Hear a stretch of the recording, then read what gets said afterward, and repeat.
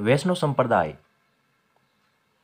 वैष्णव संप्रदाय से संबंधित वीडियो मैं एक पहले बना चुका हूँ, जिसमें मैंने रामानुज संप्रदाय व रामानंद संप्रदाय के बारे में बताया था।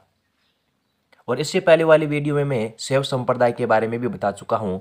शैव संप्रदाय और वैष्णव संप्रदाय के रामानुज संप्रदाय और रामानंद संप्रदाय का जो वीडियो है, वो इस वीडियो के डिस्क्रिप्शन में दे रखा है। यदि आपने वो नहीं देखा है तो उस वीडियो को देख सकते हो। रामानुज संप्रदाय के बाद आज हम पढ़ेंगे निम्बारक संप्रदाय।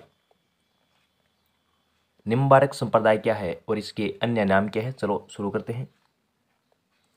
निम्बारक संप्रदाय है, इसके जो अन्य नाम है, वो नारद संप्रदाय, हंस संप्रदाय, सनक संप्रदाय और राधा वल्लभ संप्रदाय है। एक एग्ज़ाम में पूछा गया था कि हंस संप्रदाय का संबंध किस संप्रदाय से है? तो हंस हंस संप्रदाय का जो संबंध है, वो निम्बारक संप्रदाय से है। तो इसी प्रकार अन्य नाम भी पूछे जा सकते हैं कि नारद संप्रदाय, हंस संप्रदाय, या सनक संप्रदाय, या राधा वल्लभ संप्रदाय का संबंध किस संबंध है? तो निम्बारक संबंध, निम्बारक संप्रदाय से संबंधित है। और निम्बारक संप्रदाय में राधा कृष्ण की युगल रूप में पूजा की जाती है। दोनों को जोड़े के रूप में पूजा की जाती है और जो मेला भरता है, वो राधा अष्टमी को भरता है, जो कि भाद्रपद शुक्ल अष्टमी को लगता है।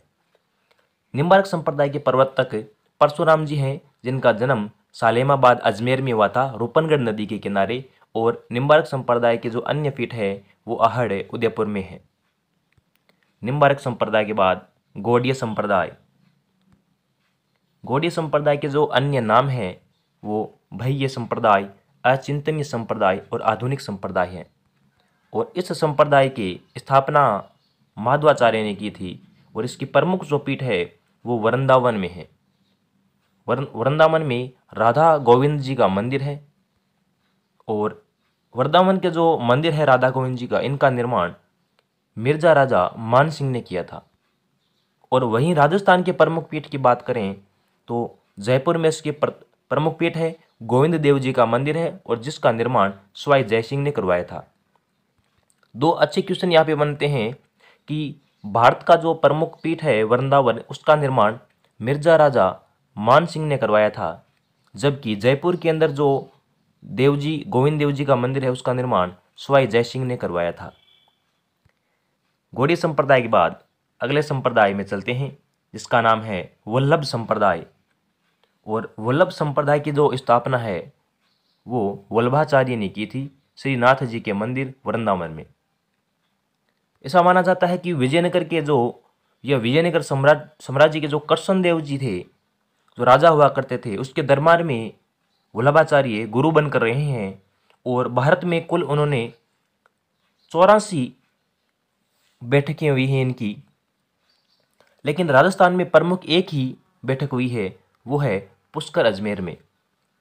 वल्लभाचार्य जी के एक शिष्य था सूरदास जी और एक इसका पुत्र था, जिसका नाम था बिठलदास जी।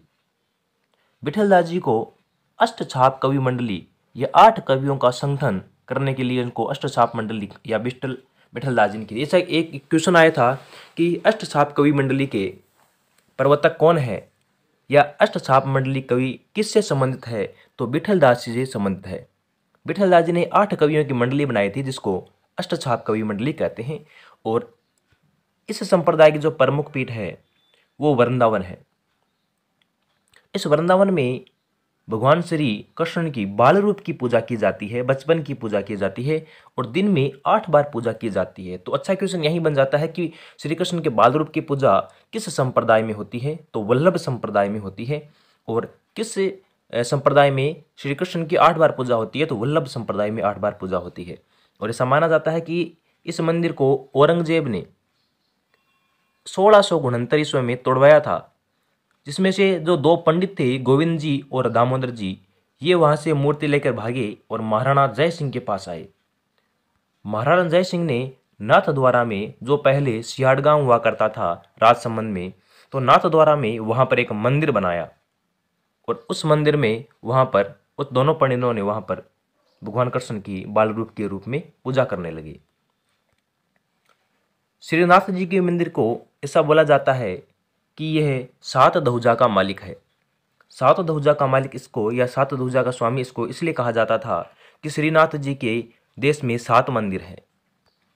जो पहला मंदिर है, श्रीनाथ जी का मंदिर नाथ द्वारा में है, जो मुख्य मंदिर है, राजसमंद। जो कि दूसरा जो मंदिर है, वह द्वारकाधीश मंदिर, काकरोली राजसमंद में है। इसका तीसरा जो मंदिर है, वो मदन मोहन मंदिर है कामा भरतपुर में। गोकुल चंद्र मंदिर भरतपुर में है। मथुराधीश मंदिर कोटा में है, गोकुलनाथ मंदिर जी का मंदिर गोकुल उत्तर प्रदेश में है और बालकृष्ण जी का मंदिर सूरत, गुजरात में है।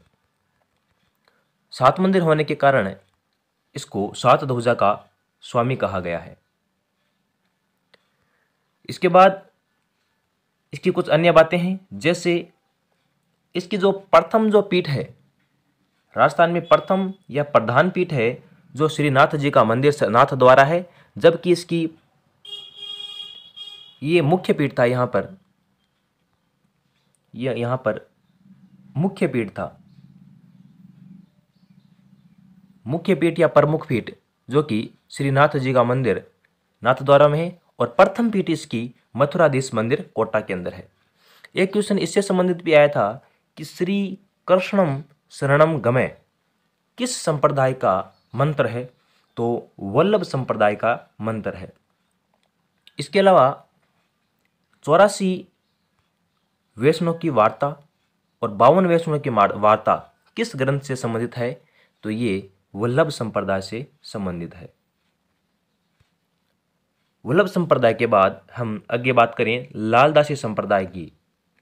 तो लालदासी संप्रदाय के जो प्रवर्तक है, संत लालदास जी है, जिनका जो जन्म है, धोलीधुआ अलवर में हुआ है लालदास जी का जन्म, और इनकी मृत्यु नगला जहाज़ भरतपुर में हुई है, समाधि शेरपुर भरतपुर में।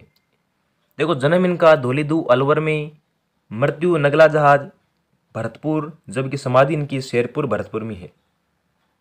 इन्होंने कोई विशेष रूप से कोई रूल या नियम नहीं दिए थे, और इनके जो गुरु थे, वो गदन चिश्ती थे। लालदास जी मेव जाति के मुसलमान थे, और ऐसा माना जाता है कि लालदासी संप्रदाय से शिक्षा लेने के बाद शिष्य को गधा पर बिठाते थे, इसका मुँह काला किया जाता था और जूतों की माला इनको पहनाई जाती थी और शरबत इनको पिलाया जाता था। ये कुछ इसके रूल थे लालदासी संप्रदाय से शिक्षा लेने के बाद। लेकिन एक बात देखो यहाँ पे कि लालदासी संप्रदाय या लालदास जी मुसलमान होते हुए भी वैष्णव संप्रदाय की पालना करते थे। लालदासी संप्रदाय के बाद जो हम संप्रदाय देखेंगे, वो है गुद्दर संप्रदाय। इसको गुद्र क्यों कहा गया और इसके प्रवक्तक कौन थे? संत रामदास जी इस गुद्र संप्रदाय के प्रवर्तक थे, जो कि निर्गुण भक्ति परंपरा से संबंधित थे। इनका जो जन्म था या इसकी जो प्रथम प्रमुख पीठ थी, वो दांतला भीलवाड़ा में थी गुदर संप्रदाय की। और गुदर संप्रदाय इसको इसलिए कहा गया क्योंकि संत रामदास जी के द्वारा गुदड़ी ओढ़ने के कारण यह संप्रदाय गुदर संप्रदाय कहलाया। सबसे इम्पोर्टेंट जो संप्रदाय है, वो है चरणदासी संप्रदाय। इसके प्रवर्तक संत चरणदास जी है। चरणदास जी निर्गुण भक्ति व सैगुण भक्ति दोनों से संबंधित है और इनका जो जन्म है, वो डेहरा गाँव में हुआ था। जन्म डेहरा गाँव में हुआ था, लेकिन इनकी मृत्यु और समाधि दोनों ही दिल्ली में है और इन्होंने 42 नियम दिए थे, बयालीस नियम दिए थे और इस संप्रदाय में जितने भी साधु हैं, वो पीले रंग के वस्त्र धारण करते थे और चरणदास जी की दो शिष्या भी हुई थी, सहजोबाई और दयाबाई। सहजोबाई और दयाबाई दो चरणदास जी की प्रमुख शिष्या थी। सहजोबाई ने मेवाती भाषा के अंदर दो ग्रंथ लिखे थे। पहला ग्रंथ है सोलह तिथि, जबकि दूसरा सहज प्रकाश था। एक ऐसा भी क्वेश्चन आया था कि सोलह तिथि ग्रंथ किसके द्वारा लिखा गया था? तो सहजोबाई के द्वारा लिखा लिखा गया था, जबकि अगली जो शिष्य है, दयाबाई, उसने भी दो ग्रंथ लिखे थे। पहला दयाबोध व दूसरा विनय मल्लिका। अच्छा क्वेश्चन था इसमें कि विनय मल्लिका किसके द्वारा ग्रंथ लिखा गया था? तो दयाबाई के द्वारा लिखा गया था। इसके बाद कुछ नोट करने योग्य बातें हैं, जैसे कि, मत्स्य संघ की मीरा किसको कहते हैं? सहजोबाई। और वागड़ की मेरा किसको कहते हैं? गौरीबाई को। और ऐसा माना जाता है कि राजस्थान की जो प्रथम महिला संस्थ थी, वो सहजोबाई थी। और चारणदास जी चारणदास जी के बारे में ऐसा माना जाता है कि चारणदास जी ने जब दिल्ली पर एक आक्रमण हुआ था, किसका? सत्रह में नादिर सिंह के द्वारा जो आक्रमण हुआ था, उसकी भविष्यवाणी इन्होंने पहले कर दी थी चारणदास जी ने। तो ऐसा ऐसा भी क्वेश्चन आया था कि दिल्ली पर हुए सत्रह सौ उनचालीस ईस्वी में नादिर शाह के आक्रमण की भविष्यवाणी किसने की थी? तो चरणदास ने की थी। इसके बाद अन्य संप्रदाय की बात करें तो निष्कलक संप्रदाय में संत मावजी आते हैं और संत मावजी भी सैगुण भक्ति और निर्गुण भक्ति दोनों के प्रवर्तक थे, दोनों को मानने वाले थे और जिन, इनका जन्म है संत मावजी का जन्म सांवला गाँव डूंगरपुर में हुआ था और इनको साक्षात कृष्ण जी के निष्कलंक अवतार माना जाता है। कृष्ण के इनको अवतार माना जाता है। वागड़ क्षेत्र में भीलों के लिए इन्होंने लसाड़िया आंदोलन चलाया था। तो भीलों के लिए लसाड़िया आंदोलन चलाने वाले कौन संत थे? तो संत मावजी थे। और चोपड़ा क्या होता है? संत मावजी की जो उपदेश है, चोपड़ा ग्रंथ में है। जो चोपड़ा ग्रंथ है, उसमें संत मावजी के उपदेश दिए गए हैं। और जो वागड़ के धनी है, वागड़ के धनी संत मावजी को कहा जाता है। और बांगड़ का धनी देखो, वागड़ और बांगड़ दोनों मिलते जुलते हैं, इसमें कन्फ्यूज़ होने वाली चीज़ें हैं।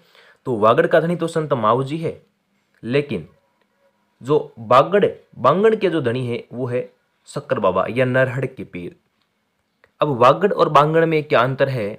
देखो, जो वागड़ है, उसके अंदर कौन कौन से क्षेत्र आते हैं? जैसे डूंगरपुर, बांसवाड़ा, ये वागड़ क्षेत्र के अंदर आते हैं, जबकि बांगड़ क्षेत्र के अंदर सिक्कर चूरू, झुंझुनू आदि आते हैं। सिक्कर चूरू झुंझुनू नागौर ये सब बांगड़ क्षेत्र के अंदर आते हैं, जबकि डूंगरपुर, बांसवाड़ा ये किसमें आते हैं? वागड़ क्षेत्र में आते हैं। तो आज के लिए इतना ही और अगले वीडियो में आपको मैं झामोजी और जसनाथ जी के बारे में वीडियो लाऊँगा।